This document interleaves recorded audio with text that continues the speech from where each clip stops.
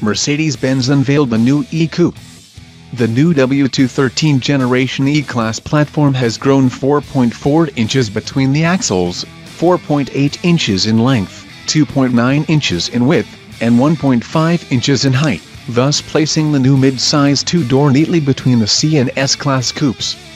The E-Coupe is offered in only one potency, badged E400, with a twin-turbocharged 3.0-liter V6 tuned to provide a respectable 329 horsepower and 354 pounds-ft of torque.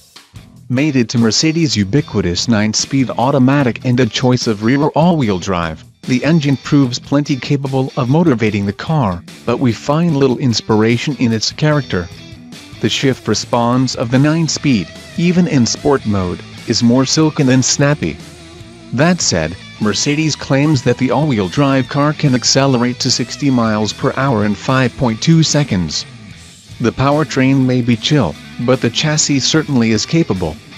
For US buyers, coil springs with driver adjustable dampers will come standard, but the car had the optional air body control air springs, which only amplify the plush dynamic quality by minimizing body motions and ironing out much of the road's texture.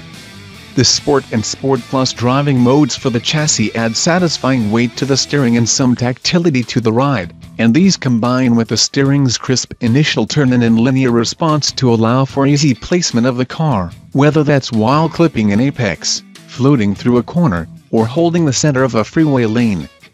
The E400 could use more steering feel, but what it lacks in engagement, it makes up on precision.